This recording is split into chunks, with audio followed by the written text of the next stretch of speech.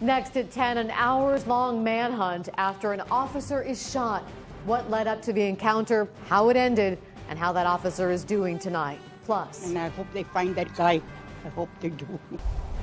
Neighbors put on edge by a warning from deputies. They're on the lookout for a man who broke into a home and sexually assaulted a teenage girl. a dog in distress found on the freeway with badly burned paws and a temperature of 108. We'll bring you the heroes who stepped in just in time.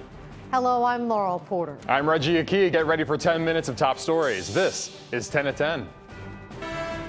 where the news comes first. News Channel 8 at 10 starts now on Portland's CW 32. Good evening. Tonight's 10 at 10 starts with a shooting that injured an officer and triggered an hours long manhunt in Columbia County. We're getting our first look at that officer. His name is Russ George. He's in a Portland hospital tonight. Officer George was shot along Highway 30 near Veterans Drive in Rainier. The search for the shooter moved to Collins Road, northeast of Clatskanie. The violent day brings back difficult memories for people in Rainier, mourning the loss of their police chief back in 2011.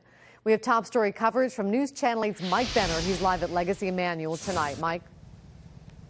Well, Officer Russ George was brought here to Legacy Emanuel from a hospital in Longview. And listen to this.